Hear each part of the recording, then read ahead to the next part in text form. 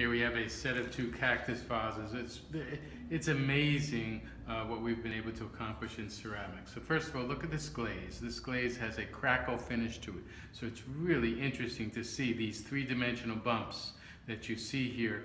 And then behind it is this clear green glaze. So you see a lot of depth in the ceramic and you can see the art that has gone into each of these pieces.